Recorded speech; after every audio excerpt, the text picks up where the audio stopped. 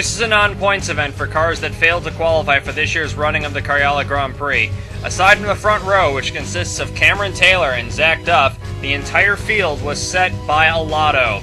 So it'll be a so it is a random draw for the starting lineup outside of the front row. Joe Olenek and Rip Tyler in row two, Matthias Taub and Danny Savin in row three. Neither of those cars qualified for the Karjala Grand Prix. Taub was just eliminated from qualifying at the very end of it. Mika Turvo, one of the FinTech cars, out. You see Jay Rivers making his first start. Uh, not really his first start, but uh, since he hasn't started a points race. Robert Dorian, bit of a surprise to have missed the race in the alert car, but he had some off track. He had some problems keeping the car on the road and qualifying. Kellen Rogers sort of in the same boat. Uh, Brandon LaRoe and Tom Moore, both of the both of the DeGarmo cars out. Rachel Rains from the 31 car had some engine problems, kept her from qualifying. Darren Cardella is driving uh, Arto Kekkonen's backup car from this race two years ago. And there is the entire grid of 30 that'll start this consolation race. A lot of drivers we may not have heard of, but a lot of those cars came very close to actually making it into the race. As Cameron Taylor leads the field, gets the field off the line. Zach Duff uh, gets a better start than Taylor. Matthias Taub peeks out. That's Rip Tyler in that in that bright green car, the former uh, the former uh, FARC champion there, the 161 car. Joe Olenek, D- Daniel Melrose peeking through. Uh, trying to make some uh, some headway along with I think that was Dorian in the background. That was uh, trying to make up some ground in the uh, 211 car. Coming now towards Sorolla Park as Duff begins to pull away. Joe Olenek in the 23 trying to make some headway here. He's trying to muscle Danny, uh, muscle past Danny Savin after losing some ground in the first couple of corners. Oh, contact with Russell Jones and Mika Turvo, and all three of them into the wall. That gorgeous 216 car is written off fairly quick, as is the FinTech car of Turvo. There's one FinTech car that actually qualified for a Karjala, and surprisingly, it wasn't Turvo. It looked like Jones just overshot that, and Jay Rivers in trouble in the background in the Blue Jay car. Um, Ryan, board with Ryan Griffin. That's Tatinen. There's Rivers right in front of him. Oh, Rivers looks like he got uh, into the back of Robert Dorian. And, uh, but when he uh, looked like when Rivers lifted off the throttle, may have lost the car, may have lost control of it. So Jay Rivers, very inexperienced, uh, but uh, he's going to get that car back underway, get himself some seat time, uh, even though uh, more or less all for naught. But it's good to see Jay Rivers making the grid here in that 164 car. Wyatt Castle in the 224 car is a big crowd draw when he made his Master Cup debut at Decatur. Oh, he's sliding wide. He's into the power team car of Lodi. The Euro team car, uh, apologies, and uh, into the tire wall goes the Euro team car of Emmanuel Lodi and Wyatt Castle. The Unit 11 car of Mark Blackwell also off in the Dwyer S. There's been a lot of drama over here, and that's one of the trickiest corners on this circuit. At the completion of the first lap, Zach Duff in the 77 has a fairly solid lead over Cameron Taylor in the 26. It's a great, um, great run so far from Duff. A little surprised he uh, he didn't uh, retain his full-time role at the Mitchell and Sons team. Uh, but then again, Oxalando Shun had just won the TM Lights title. This was the quickest car in practice for this race. Was the uh, the number 90 Olivia Grace car driven by uh, Canada's Kellen Rogers the uh, Dash Cup regular uh, in this 90 car. It's the second car for the Matthews team, and uh, considering that Ryan Matthews quite easily qualified his car, um, the backup Aspira uh, just missed it by, um, didn't miss it by very much. Here's Rachel Rainsford in the 31 car, which was also very, very quick in um, in the uh, practice sessions leading up to this race. And uh, also, I was a little surprised Rachel didn't put this car on the grid for the Karjala Grand Prix proper, so that's a bit of a surprise. Ansgar Clemens in the 353 car has tried to make this race for to try to make the Karjala GP for a few years, has not done so. Uh, but we do understand he may have a promoter's option when the series returns to Germany, but he's going three wide with Benoit Vukler and uh, Rip Tyler. So Vukler clears Rip Tyler. Here comes Ansgar Clemens, though. He says, hey, I can get a two for one deal. I can go around Benoit Vukler and Rip Tyler, and he's got it. Great, great move there by uh, the German. Uh, he looks very savvy race driver. It's a, it's a shame we haven't actually gotten to see him in a Master Cup Series race yet. Dorian now on the on his way through using um, using a hole there that Clemens created to try to get by both Vukler and Tyler in the alert Inglesby. It looks like he's got it. So Robert Dorian, yep, uh, is moving up position. He uh, was scored eighth last time by, so that's at least him up to sixth right now. So Dorian, now he's going to chase down Ansgar Clemens, who is now up into fifth position.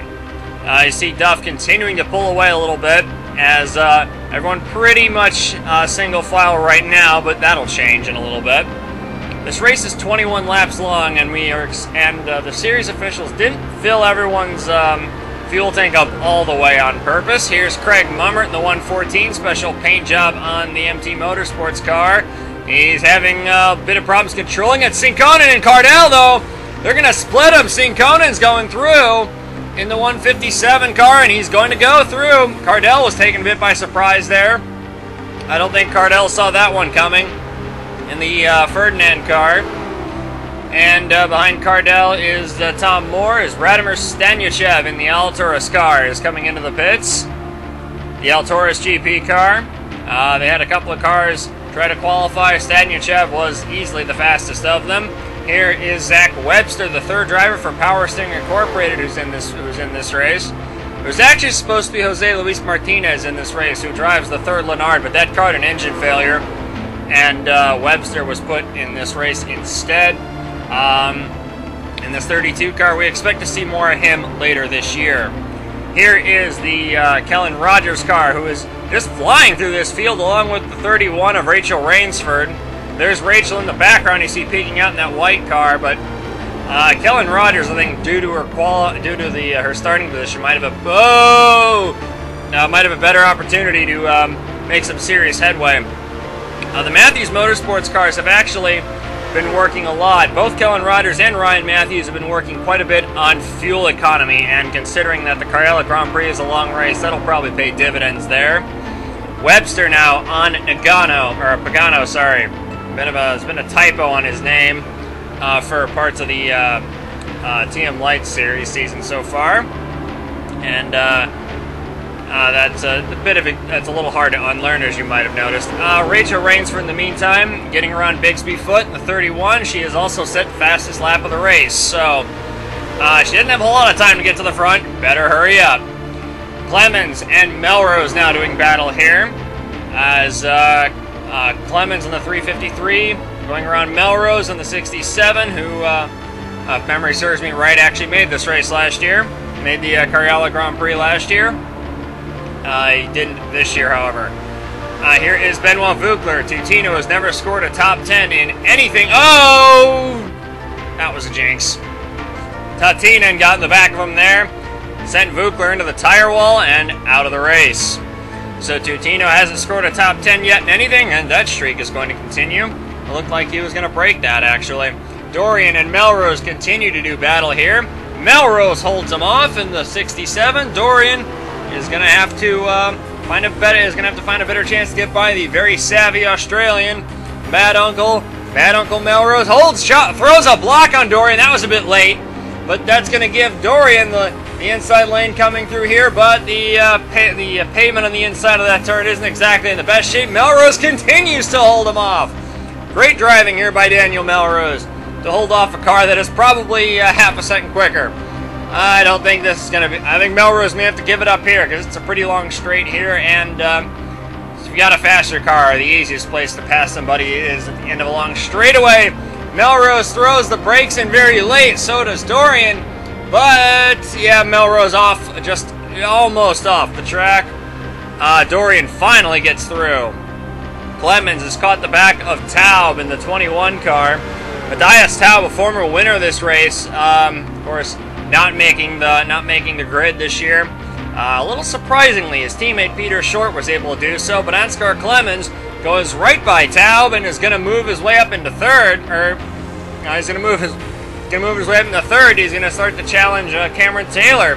So the German really flying right now in uh, the 353 car. Meantime, it's a bit of a Saturday drive for Zach Duff in the 77. He's uh, more or less pulled away from Taylor, and um, not a whole lot's really going on with him. So let's look to see where something actually is happening. Here's Robert Dorian and Matthias Taub doing battle. Dorian in the 211. Looks like, um, yeah, it doesn't look like Taub is going to quite put up as much of a fight as Melrose. I think uh, Taub defended the other lane, and uh, now Dorian's got uh, not not exactly the preferred line, so Taub might be able to hold him off here. Uh, no, I don't think so. Um, uh, Dorian, no, maybe Dorian isn't going to be able to get him. No, they're still side by side. There you see, though, in the background, Kellen Rogers making some headway. Dorian gets Taub right before the Dwyer S. And it looks like, uh, let's see if Kellen Rogers make the move, made the move on Melrose stick. No, not quite. Daniel Melrose being a bit more aggressive with defending than Taub is. Here's Rogers in the 90 car, trying to make a move on the inside of Melrose. Uh, no, not, no, Rogers loses the rear end just a little bit, uh, and uh, Melrose gonna hang on. Uh, that's not exactly the best corner to make a passing move in. Zach Duff in the 77 brings that car into the pits. He's got a fairly solid lead. And Cameron Taylor and uh, looks like Mo Oh, Dorian's staying out an extra lap. Ah. So is Kellen Rogers and so is Rachel. And Esco Cascella in the background as well in the in the uh, 235 car. Oh, whoa, we got a disastrous pit stop here for the 77 car. Disastrous pit stop there. They couldn't get the right rear off of that car. Cameron Taylor is going to take the effective lead of the race. So Cameron Taylor now moves up to the lead. Duff, horrible pit stop there. The Mitchell and Sons team is going to be kicking themselves for that. Dorian now is going to pit on lap 10. Uh, uh, so, uh, so Dorian is in. Rachel Rainsford, I think, might be coming in. Yes, but you'll notice there's no green 90 car there because Kellen Rogers is still on the circuit. Kellen Rogers in car number 90, still in the circuit now. And I mentioned earlier that um, series officials didn't exactly fill everyone's uh, fuel tank up all the way. Uh, they wanted to force a two-stop. The officials wanted to force this to be a two-stop race. But uh, we've got this is going to be at the end of lap 11 when Rogers makes a pit stop. Do the math. It's 21 laps. Rogers can do it on one stop. Um, it's almost a certainty. Rachel Rainsford in the 31 leaving the pits. Where is she going to come? Whoa! Right in front of the Melrose cars. Rachel moves is gonna is gonna gain quite a bit of ground there. So Rachel Rainsford is gonna have to be is gonna have to play it smart with fuel if she's gonna make it to the end. I think she will. We'll have to see. But Rachel Rainsford is still probably the best drive I've ever seen her give in. Here is Rogers now into the pits in the 90 car. Pretty error-free so far. Here is Cameron Taylor, though. In the 26 car who currently holds the effective lead of the race. But there's Robert Dorian in the background. Remains to see how long it will last, and not only that, but you have to consider um, what Kellen Rogers in the 90 car, what her strategy appears to be so far. So Taylor now, coming down the main straightaway, no relation to um, former series champion Matt Taylor, who um, uh, was supposed to attempt this race, but the uh, but the car that he had blew an engine in first practice, never actually turned a lap in qualifying, as Darren Cardell makes a bold move on Ansgar Clemens, who also had a disastrous pit stop. Darren Cardell in the Ferdinand car I'm not sure they changed tires on that car, and I'm and whoa, Taub is in trouble. Taub in the 21. No, that was almost a big, big crash right there. So Taub, he's struggling with the handle of that car. Here's Rip Tyler in the 161 car, the uh, former FARC champion uh, back in the states.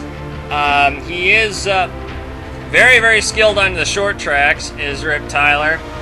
Uh, he is uh, dropped well back though in his uh, in his very old Lycoya. As Rachel Rainsford and Zach Webster do battle, Webster a bit braver than Rachel, swings it around the outside, and Rachel kind of gave that one up. I don't really know why she did that, unless she's unless she's trying to save fuel to make it to the end.